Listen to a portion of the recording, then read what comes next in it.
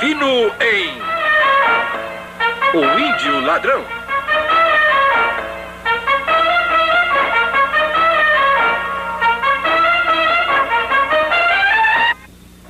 Mas o que é isso? Um acampamento índio na periferia da cidade? É Hugo Agogô, o cientista louco. Mas por que está vestido de índio? Porque não tinham mais roupa de vaqueiro.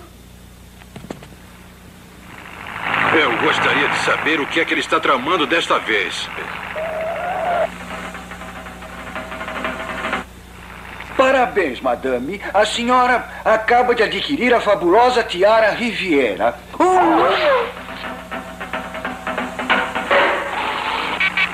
A linha secreta? Aqui é Bate Fino.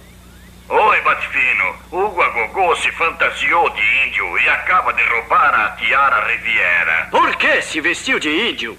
Parece que não encontrou roupa de vaqueiro. Tenho que encontrar esse impostor emplumado.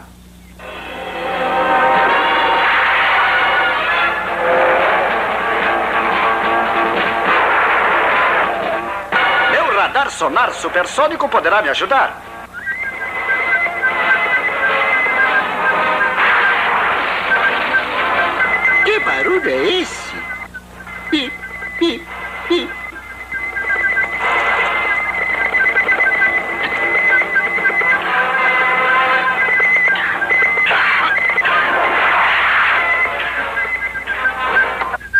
Está atrás dessa cerca.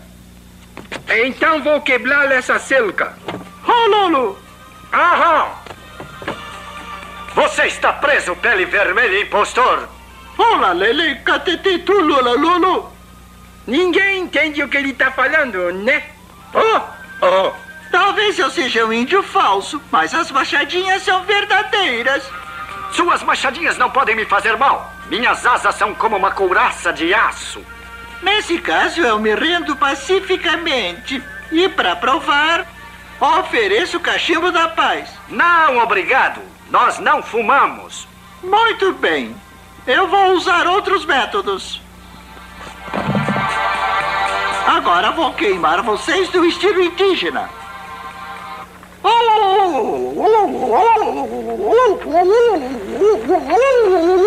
Você dança enquanto queimamos.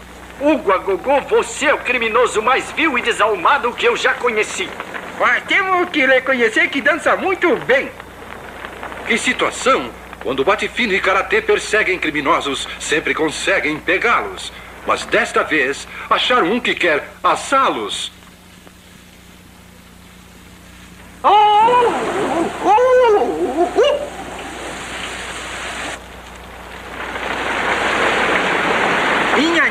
Está chovendo. Ih, a chuva apagou o fogo. Mas por que choveu? O jornal anunciou bom tempo para hoje. É verdade. Mas você errou a dança e estava dançando a dança da chuva. Eu cometi um erro. Mas não é de estranhar, sou índio novo. É, tem razão, mas não acho que consiga ser um índio velho. Oh,